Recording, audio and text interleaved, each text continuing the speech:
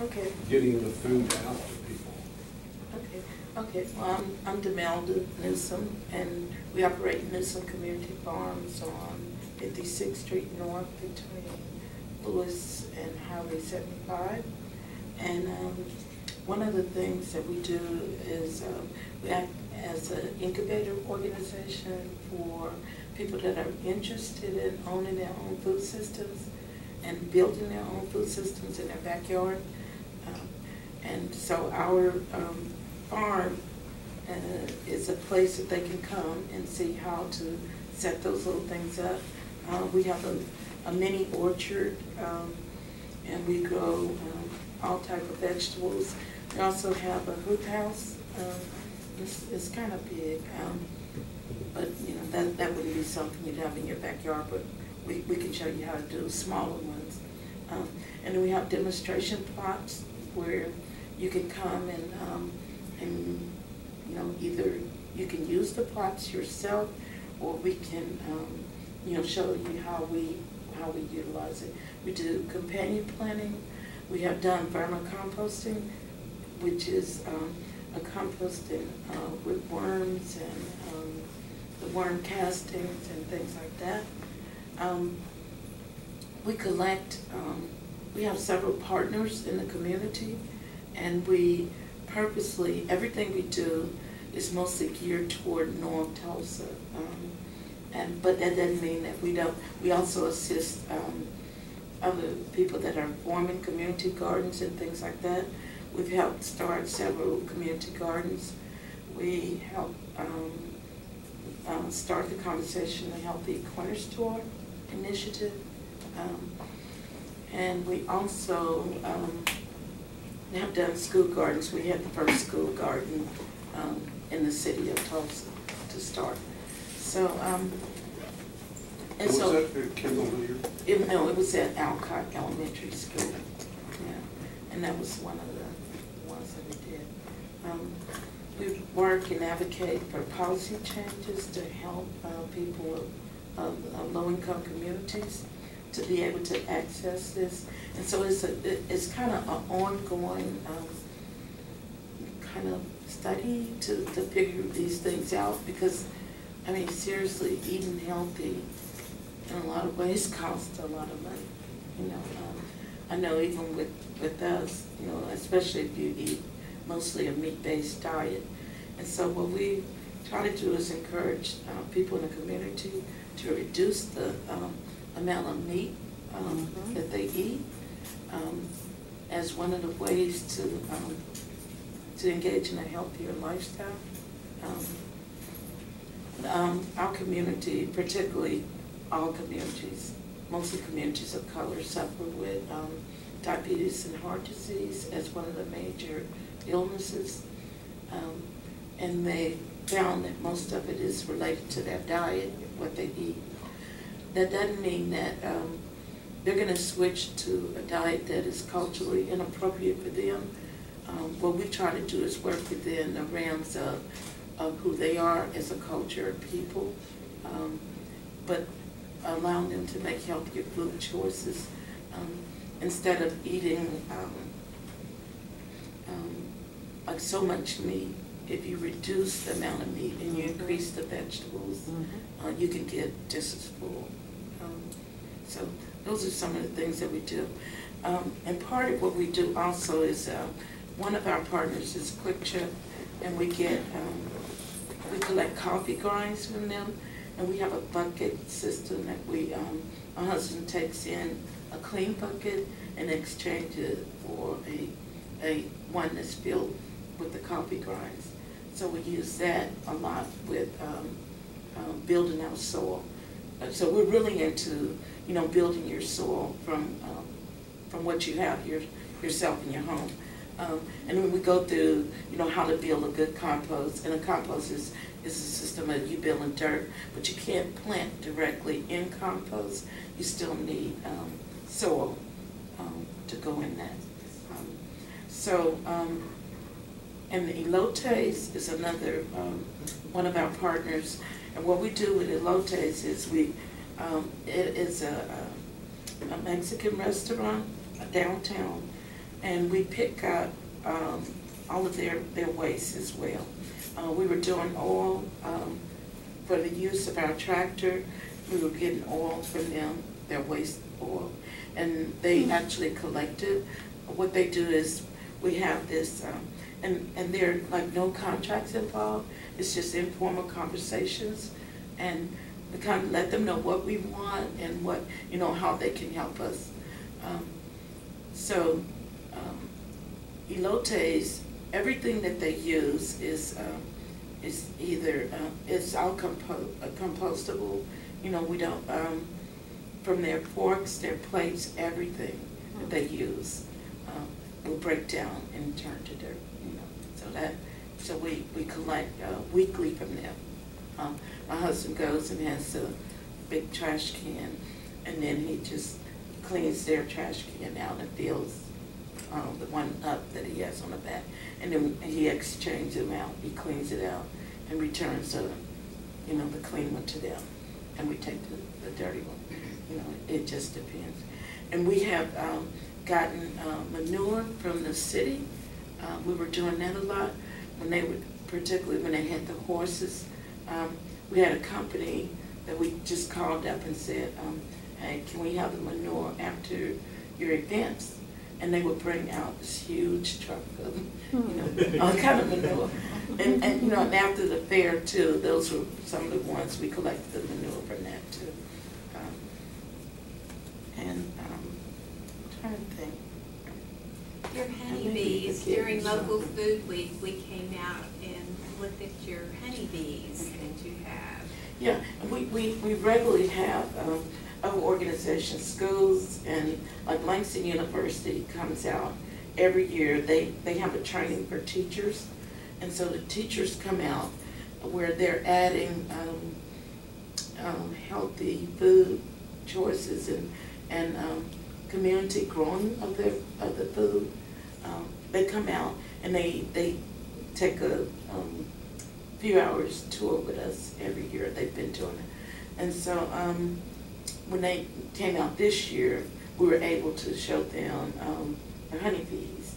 We were in production and then it was at Food Week. Um, we participated in Food Week. Um, and during that week, this, this year, we focused on the honeybees. And, um, and we had a couple of, uh, groups of people that came out. We had, um, early group and a latter group that was filled with children. Different, different fascination that they had. But they asked interesting questions and, you know, and it, it just kind of starts there.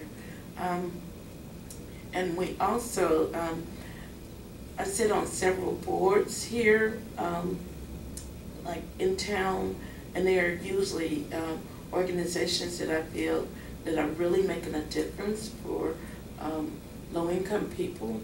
Um, and I've been asked to do other boards, but if I don't feel like their mission is, it aligns with what, what our organization is doing, and that is to empower access and teach sustainability, you know, and there are ways of, of doing that, and one of them, you know, is also respecting the culture of the people. I must say that over and over again, whatever projects that are going on, everywhere, you need to engage the people, the indigenous people in the community, and just say, you know, like, you become a student of, of theirs. You know, I, I totally believe in that. Um, and then I sit on, um, like three national boards and one regional board, um, that deal with food and, and they work with farmers and, and, um, and we recently have been connected with, um, children that work in the field. That was one of the things we did with Whole Foods last year, was, um, we looked at, um, particularly the Latino children that are in the fields that are producing food for us. It was, um, it was eye-opening for me, because I could kind of, you know, like, you have your focus in the food movement, and my focus, I, I never really thought about, like, who, other than farmers, adult farmers, that were producing the food and harvesting the food. Um, but it was, it was uh, heart, heartbreaking. Um, I went to a Kellogg's conference, And that's one of those big um, food conferences that you have to get invited to. It's like your name has to rise to the top of this, you know, like mighty powers or whatever.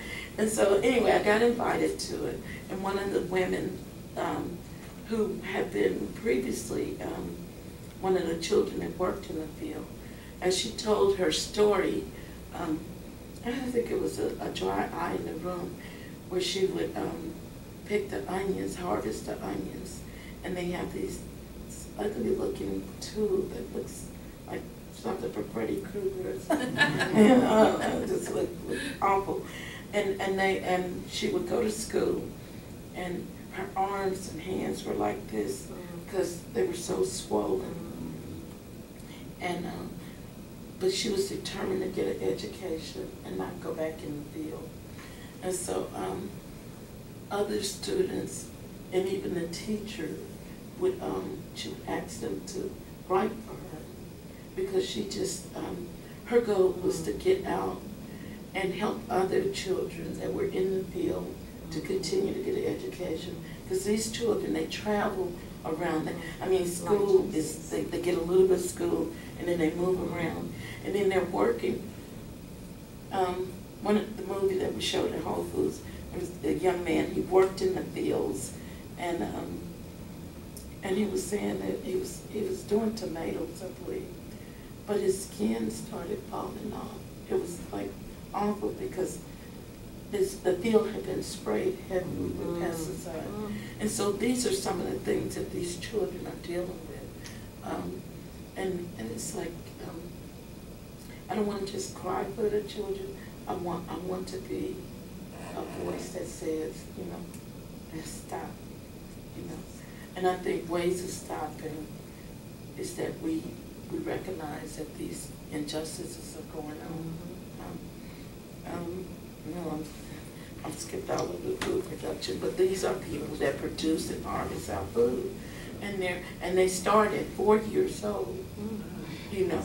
This is, I mean, I'm just thinking, what kind of child labor laws affect them? You know, everybody want, I want the immigrant people to go away. Well, you're gonna get them the field? So it's gotta be made safer. And it's gotta be where the children are coming out the fields. And recently, on NPR, there's a big wave of women that are being raped constantly in these fields, you know. So what, you know, like, is this some kind of social madness that, I don't know, we've gotta stop. Mhm. So, when we talk about production of food, I mean, it's a big gamut of things that are involved, you know. And we need to say no to places that are using child labor in the field. And we need to not be ignorant and hide in the sand, you know. Because they, everything that we want for our children, they want for their children as well, you know, to have the education. And these are American children, these children were born here. But they, but because of, of who they are and the culture that they come from, this is what they're doing. Um, I don't know if you all are familiar with the Immokalee workers, you know, down in Florida. I mean, they were producing food for um, Trader Joe's.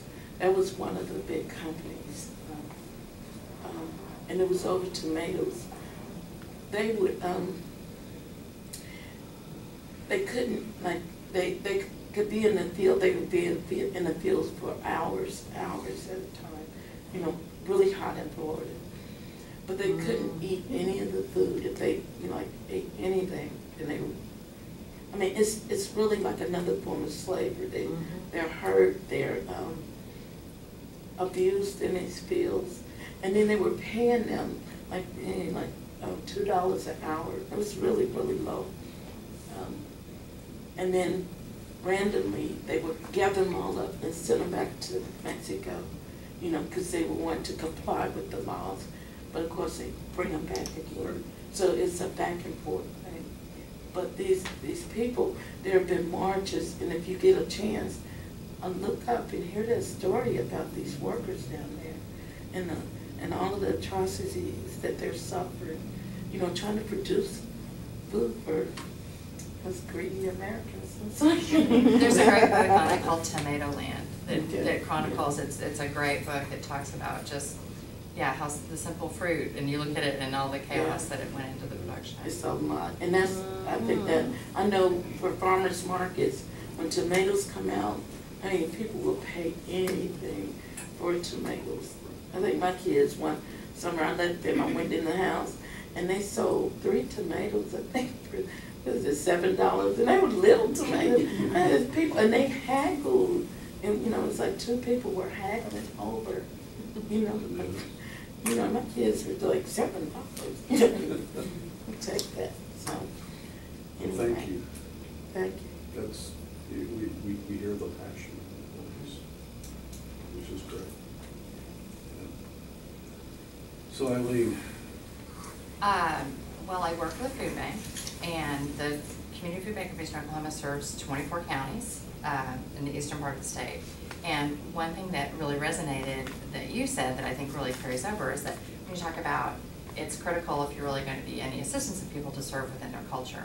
And so the food bank is kind of a states' rights model in that way. So we have agreements, like if we, you can't sell the food you get it from the, you know, because we have agreements with donors that we're not gonna compete with them and sell the food, whatever. But aside from those basic food safety and a few agreements, then you can serve the community in which you reside in the model that best serves the cultures of the people, um, really your own capacity. Uh, and we gently tried to persuade our partners to move to something called a choice model, um, which means instead of going and saying, oh, you need food, okay, well, here's these two bags and this, you know, take these and this will be good for you.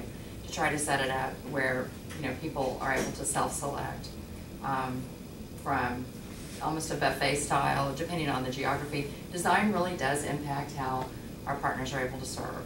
It really affects capacity. Ninety-nine point nine percent of the places that are serving the hungry today were not designed to serve the hungry.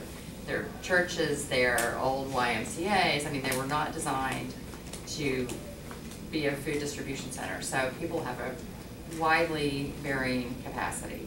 Um, some of them have refrigeration, some of them don't, and that, of course, dictates what kind of product they can take and distribute. So we really, um, it's, it's beautiful and challenging to try to work with so many different models, because everybody is pretty sure that their model is kind of the only model. And we have four hundred and fifty partner programs, so four hundred and fifty only models. Um, So it's, but, but I get it, because you, you know, you're looking in the face of somebody who's hungry and they need help, and you want to give them the best products you can, and that may be different. Um, so we, seventeen point two million pounds of food went through the food bank last year. Um, I think Oklahoma is ranked as the lowest consuming state across all income guidelines for fresh fruits and vegetables. So we have made a deliberate effort to, uh, make that a priority. So about a quarter of the seventeen point two million pounds were, uh, pounds of fresh produce. Um, I told Demalda, um, we have some partners that love that. And we have, I had one woman call and said, you're killing me with your fresh produce. I gotta have canned green beans. I don't have the capacity. I don't, you know, I, I don't know who's gonna come to get the cabbage. And so, uh, you know, we, we walk that line. We try to make sure that we are serving all levels of capacity. Um, Oklahoma is, I think, one in every six Oklahomans is classified as being food insecure. That doesn't mean that they will necessarily go hungry, but that means that they do not know for sure if they're gonna get the next meal or where it's gonna come from, and that number rises to one in four when you're talking about children. So, um, the food bank, the vast majority of the food we distribute is through our partner programs. We have a few other smaller programs that are direct distribution. We have a program designed for low-income seniors. Um, that is a mix of shelf-stable goods, fresh produce, and bakery items. That has been enlightening. Um, I cannot tell you how many very cute seniors will look at the bread, because it's usually bread that's been donated by Walmart or Target, and it is, usually they're artisan bread, so it's not sliced, it's, you know, uh, and they'll say, oh, my doctor doesn't want me to have bread, but I will take that pie. Uh, like, name of your doctor? I think I need it. Uh, so it is a constant, you know, we need to meet people where they are. The first senior servings, we took mangoes, plums, onions, sweet potatoes, and okra. And guess what went home with us? One hundred percent. I don't think we gave away one mango. So we learned, because this is a Culture. population, culture. is, it is. And, um, and this, it's a population that does not wanna waste, they're not Yeah. gonna take it if they're not gonna use it. So we learned that we have to be like Sam's, if we have something that isn't familiar that we need to have samples and we need to have recipe cards. And so, you know, it's, it's an evolution. Yeah. Um, we're still not giving away a lot of mangoes, but we're not taking all of them back, Mhm, so mhm. it just varies and we're learning that way. We do have, um, a culinary program at the food bank, that, which has reduced our waste because, you know, tomatoes are a great example. Um, for some reason, people who have too many tomatoes like to call us Friday at four o'clock. And we don't have distribution on the weekends and we don't wanna take Mm. overripe tomatoes, you know, but we do because now we have staff and volunteers that can come in and make spaghetti sauce or sauce on Saturday. That it's not gonna go out in its natural form, but we can do something. So it's reduced the waste to about three percent, um, which is, you know, given the level of fresh produce, that's something that I, I would like it to be zero, but I don't know that it ever will be. Uh, we do have some, uh, partnerships in the community with Morton and Community Health Connections, where we are trying to address some of the issues that you discussed. Um, we have cooking classes for newly diagnosed diabetics that are team taught by a nutritionist and a chef. Same thing for hypertension. Um, and you know, it's, sometimes we have a full house and sometimes we have two people. And it's just, you know, if the two people that come walk away with something good, it's, it's, I think it's been a successful endeavor. So that's something that, um, you know, with the board of directors, I have to discuss, you know, we did a great job with two people, or we put out fifteen million pounds of spent. And I don't know that they're either or, but sometimes you have to make a really good case for the two people argument. And so that's something, um, we do something called Cooking Matters, which again is team taught by chef and nutritionist. It's a series of six classes. It's a huge time commitment for somebody, um, who's struggling with poverty. It's two hours, six sessions of two hours. Um, so for the people that can commit to that, it's great, but that's tough. Mhm. Um, I mean, it's a tough commitment. So that's another one, like, if we partner with someplace, we do like educare sites where there's some place to watch the kids. We've done, Oh. um, parents of preschoolers, we've done grandparents raising grandchildren, and they can come together. So if we can come up with, um, targets that, uh, are inclusive or have childcare, we have much better numbers. Um, the curriculum was designed by Conagra and Walmart, so they've done a lot of research on it. Then the outcomes for the people that can stick are great, but it's just a really tough thing. I mean, I don't, I was not in poverty, but when I had two kids under two, there's no way I'm going to a cooking club. So, you know, we know that it's not perfect. Um, we're piggybacking right off of, uh, the grocery, the mobile grocery, we have, um, a food truck that we, uh, I think was supposed to be delivered today, but it was also supposed to be delivered every day last week. So I don't know if it's really there or not, um, but it, it's the same thing, you know, there are places in town that, um, access is just a problem. I mean, they have great partner programs, but the partner programs only have volunteers to be open two hours on a Tuesday and two hours on a Thursday, and what happens in between. And so the truck is designed, it was initially um, designed to be able to alleviate the drought in school meals when school's not in session. And that'll be its number one priority, but of course, there's a lot of time that school is in session, and we'll be using it, um, you know, for some of the homeless veterans groups and seniors, kind of plugging in. There's a little partner program that um, has long lines. They're open two um, Thursday nights a week, and they have hour and a half long lines, mainly elderly folks, and so we'll serve a meal while they're waiting to go get, you know, food for the next couple of weeks. So um, we are trying to be innovative um, in distribution, but um, sometimes it's really like a real-time working grocery warehouse, you know. I have trucks, and if they're not there on time, I get the call, your truck's late, you know, I'm giving my bananas to John three sixty, okay? If they're still feeding hungry people, it's okay. But, um, so it's kind of a hybrid model. Um, you have to kind of keep that working warehouse going and still be mindful of the end user, so. That's what I, Great. Scott? Okay, I'm here today to talk about uh, R and G Family Grocers, which is uh, the business model that we're putting out for uh, Healthy Community Initiative, which is our nonprofit. Uh, This kind of came about from my work in the grocery industry in uh, near, near downtown in West Tulsa, and just seeing a lot about food insecurity and really noticing where that hits home in Tulsa, that there are just areas that have no access to supermarkets, uh, whether that's from public transportation issues or locality. um, So we started out a long time ago, and Demalda was on board with this. We were working to find a way to create a distribution model wherein several uh, partners could collectively purchase and access the, uh, the retailer um, warehouses, which minimum purchase orders are approximately twenty thousand dollars a week, which is quite a bite to take for any store unless you're uh, a Reasor's or a Walmart or something like that.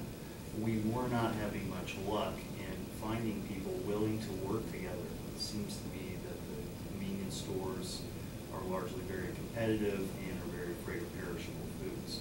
Despite having a curriculum uh, developed, uh, I think by the University of Washington to stores into healthy corner store models, we just didn't have much success. So we kind of looked at a different way of approaching this. Idea is to get more healthy stores into limited supermarket access communities. And the idea that we came up with is taking a baby step of bringing the grocery store into the community. So we, uh, it's kind of came about for us while attending the Rural Grocers Initiative that's sponsored by, uh, this is pretty good. It's up at K-State, it's the Center for Engagement and Community Development. They do this every two years. And while I was uh, up there the last time, I was visiting with an agricultural economist, and she had created a model of uh, distribution uh, for serving communities that were at least sixty miles apart working to get grocery stores supplied at that lower wholesale pricing. So we took her numbers and kind of looked at what we could do in Tulsa, and it kind of panned out. So my partner in this project, Katie Plohocky, was visiting with uh, the health department and was speaking in front of the board of directors, and Rick Helmer was in the audience, and said, I really like this project, why don't you put something together? So we went in they agreed to fund the development of the the trailer and truck so that we could get this thing going. And then, uh, that was followed up with uh, a pledge by the uh, George Kaiser Family Foundation to purchase our initial inventory. And the food bank uh, generously agreed to host our distribution center, which at this point is a twenty-foot cargo container placed inside their uh, gated yard. As we speak, the electric pole is being hooked up to it, and we'll also be able to plug the trailer in over. So the trailer is plugged in on the truck to a generator that has to run full-time when we're out in the field to keep the refrigeration going. So what we did is took a nine-horse trailer, which is approximately thirty-five feet long, and sealed up all the horse windows and took out the stalls and cleaned it up and installed some refrigeration and some shelving and put in a point-of-sale system based on an iPad. That's very mobile, we can pick up a signal just about anywhere in Tulsa and keep it functioning. Where? And Scott, just, can we ask questions? Oh. Just curious of why y'all chose the, the trailer as opposed to, you know how like, uh, the bookmobile, the library has the, that sort of setup, all self-contained? Was it just the? Well, it really comes down to if you uh, have a food truck that's one unit, if anything mechanical happens, you're out of operation until it's repaired. But if you have a trailer, then all you have to do is find another tow to keep yourself in operation. So in order to minimize the downtime if possible, just figure a pickup truck and a trailer is the best option. So, uh, through our research, we went out and visited, uh, students at Vanderbilt University in Nashville, put together a model, um, Nashville Mobile Market, which they have, to a certain extent, franchised. There's one in operation in Chattanooga and one in Memphis as well. I had heard that students, some students at, uh, University of Oklahoma were gonna be taking their curriculum and adopting something for use in Oklahoma City, but I haven't seen any materialization. The other model that we looked at is out in New Mexico. It's based in Albuquerque. It goes out to the, uh, the Pueblos, which are very remote rural districts, and brings, they've got actually a tractor trailer with slide-out refrigeration. It's, it's the granddaddy of them all. So we were, went out to see what are people buying, what are people looking for, and taking their of, successes and bringing them back, looking for opportunities in our store to fix those.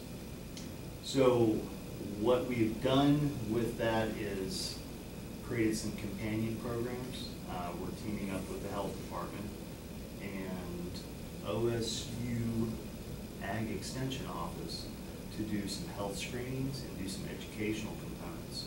So the idea is to bring a ride-along companion with us to set up each stop.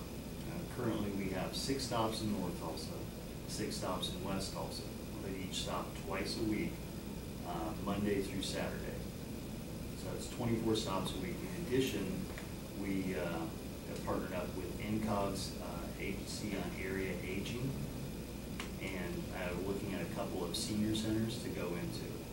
So Throughout these partnerships, we have gone out into the community and created some questionnaires for asking uh, where are you located? Where do you need a store? What times? What are you looking for? And what we've found and made our site selection based on is rooftops, access to transportation, and commercially viable retail center where the stop is located. Our goal then is after a year or two of operation to help someone from the community take our sales data and back their own store into the retail center where the stops are located. What we'd really like to do is put ourselves of business and create more of an economic incubator within these communities. So that if there's a community store there, you can have a larger variety and act as a traffic generator for that retail center. and Perhaps more uh, local entrepreneurs can start up businesses and improve services and retail opportunities in these low-income areas. Our, our uh, twenty-foot cargo container that's co-located over at Community Food Bank, uh, that's where we're going to be storing all of our deliveries. And once we get into the growing season, we have several partnerships with area farmers. What we would like to do is be able to bring their produce in and open up the distribution to areas, um, restaurants, Elote, for example, um, institutions, and try and help bridge the gap between the farmers who are growing and the consumers. A lot of times there's a big disconnect with farmers being able to leave their growing operation and deliver to a restaurant or an institution. And conversely, it's difficult for a restaurateur to leave the restaurant and go out to the farm. We see that there's a really big piece missing for the middleman, if you will. Uh, the farmer's market model works pretty well for those farmers who are able to get off the farm and come in, but we really see that in order to improve the, uh, the growing capacity of the farmers, that there needs to be a broader distribution aspect.